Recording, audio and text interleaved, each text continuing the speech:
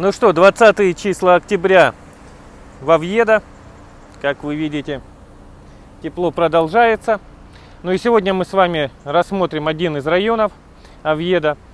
Это Сиудат Наранко, который находится, в принципе, очень недалеко от центра. То есть минут э, до 10 минут пешком примерно вот так вот.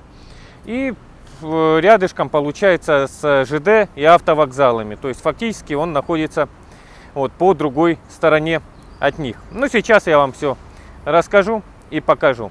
Поехали.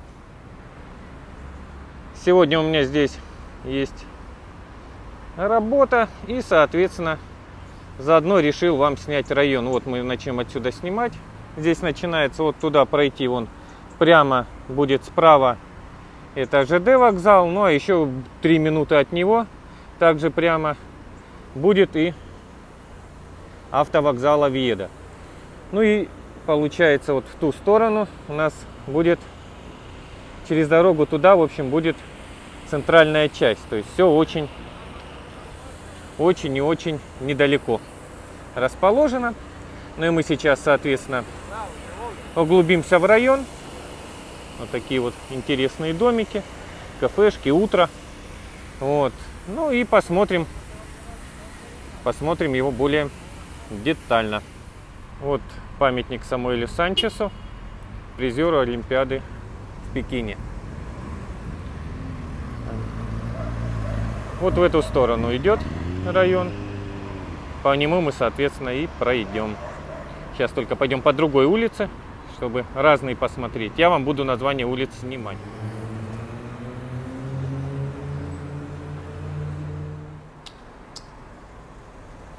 Кая Лос Пиларес. Ну и в ту сторону она проходит, то есть с того боку вот так вот, от, вот этих вот домиков. Вот видите, кафешечки идут. Ну и мы с вами идем. Тут есть такие вот небольшие улочки. Они получается, идут, за, заворачивают и можно обойти. Ну, в принципе, вот я думаю, отсюда видно, что ну, все, все неплохо. Это вот вам снимаю название этой улицы. Соответственно, следующая улица. Ну, это та, по которой предыдущая вот так полукругом соединяется. И вот смотрите, какой интересный Тут он домик треугольный. Там он есть отдельные дома. И свернули мы на Avenida de San Pedro de los Arcos. В целом читал про район. Когда э, здесь общее количество населения порядка 13 с половиной тысяч.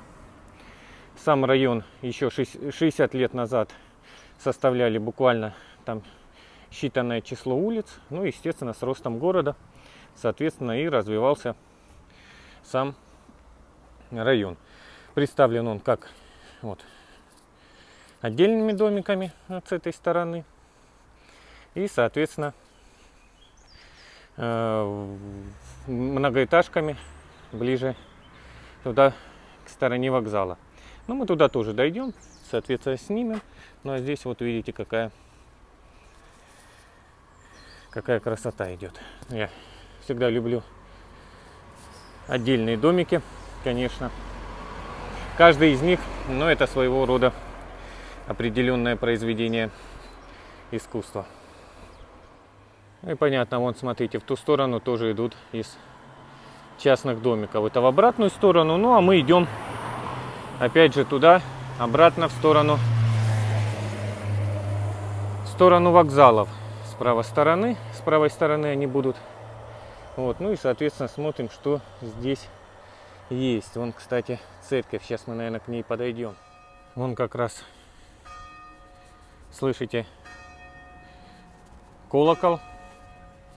Мы подходим. Тут, кстати, есть школа. Все необходимое для жизни, естественно, присутствует. Ну, как я и сказал, совсем недалеко до центральной части. Все очень близко. Ну и вот, пожалуйста, церковь. Здесь же расположена далее школа. Вот, занимаются физкультурой дети бегают. Ну а мы с вами бегаем по району. Ну и вон уже, видите, такие вот пригорочки идут. А налево, налево частная застройка. Смотрите сами. Домики.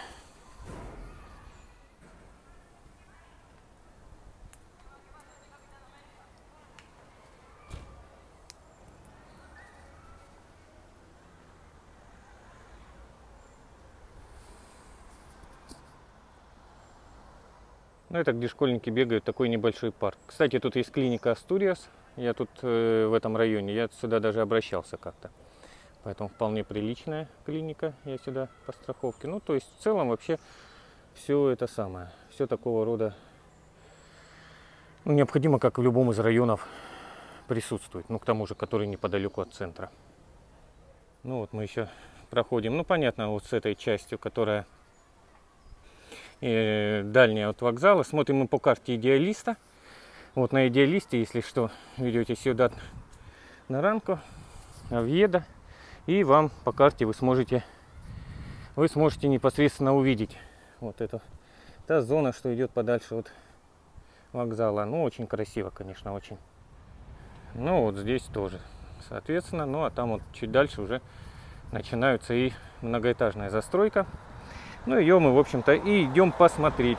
То есть, в основном, конечно, большая часть, кто переезжает, смотрит, то присматривает себе квартиру, во всяком случае, изначально, а уже потом на месте может со временем и, и в эту часть переберется.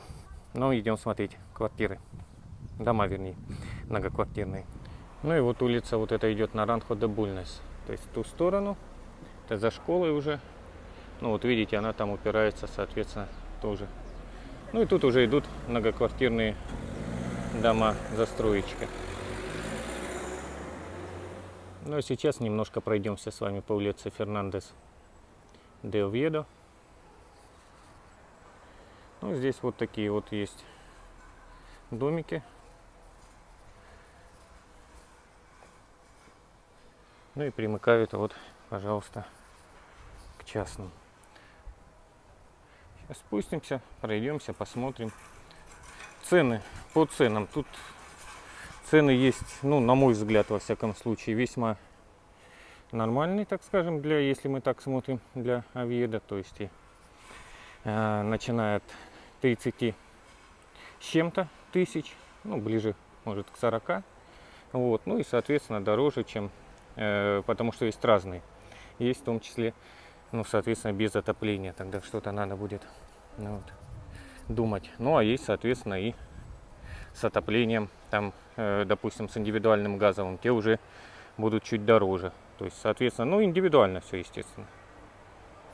Он автобус проехал. Вот улица пересекает Лоренцо Бруньеда. Вот. Ну и, но мы идем дальше. Вот, пожалуйста. Чтобы людям можно было подняться. Вот. Пенсионеры, соответственно, на лифте поднимаются а не вот по такой лестнице. Видите, как удобно, так скажем, для людей. Ну и вот тут такая вот типичная застройка идет.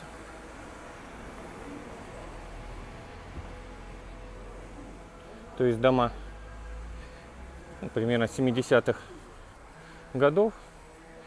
Некоторые чуть помоложе, но тем не менее. Вот это мы уже идем к концу района, э, можно сказать, к концу района и к концу в целом, ну, ближе к концу города. Так вот, потому что, вон, видите, буквально прямо перед нами, уже недалеко, можно непосредственно сразу на природу. И вот автобус. То есть автобусы здесь есть. Кто не хочет, допустим, пешком ходить, или кому надо куда-то, допустим, не в центр, а в другое место, вот, вполне может воспользоваться остановкой общественного транспорта. Вот домики такие, ну эти поновее.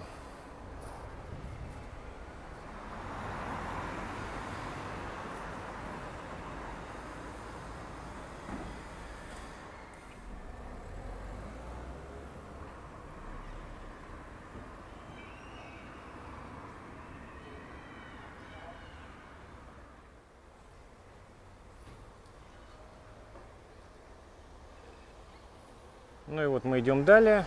Вот, получастная школа. Ну и туда вот пошли. Вот тоже отдельные домики. Вон вы видите. Ну и дальше туда более новая застройка многоэтажная.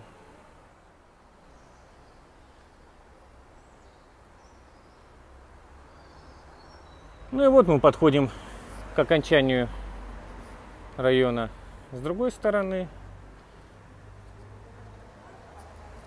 Вот видите. Очень симпатичные домики. Улочка такая. Ну и вон посередине круг. Вот, пожалуйста, поликлиника. Ну и вот сюда вот тоже расположенные домики. Зубная клиника. Ну и тут уже окончание. Пожалуйста. Окончание района.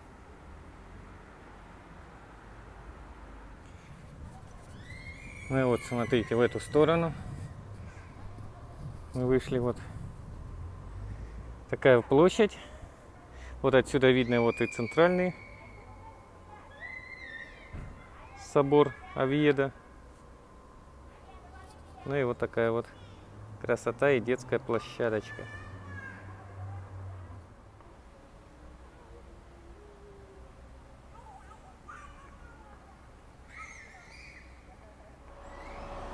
Ну вот, смотрите, вот. Это здание ближе, но вон, смотри, вон весьма старый домик. Я просто видел одно из объявлений, там был вид прям недорогое, вот прям на вот на это здание был вид. Но я так думаю, вполне возможно, что вот с вот этого домика. Но он, конечно, такой, видавший виды. Вот, ну а так, в целом, конечно, вот рядышком вот такие вот красивые, хорошие дома. Вот здесь чуть более постарше, но, но нормальный. Один вот такой совсем старенький есть. Ну и вот такая вот часть. Это мы уже подходим, в принципе, недалеко к переходу, и там уже будут э, рядышком с ЖД вокзалом Авида, в принципе. Ну и я же говорю, отсюда до центра, но я не знаю, мне кажется, меньше 10 минут пешком. Ну, смотрите, вот тут работы проводятся как раз в районе неподалеку от вокзала. Ну, а тут вот такие вот симпатичные домики.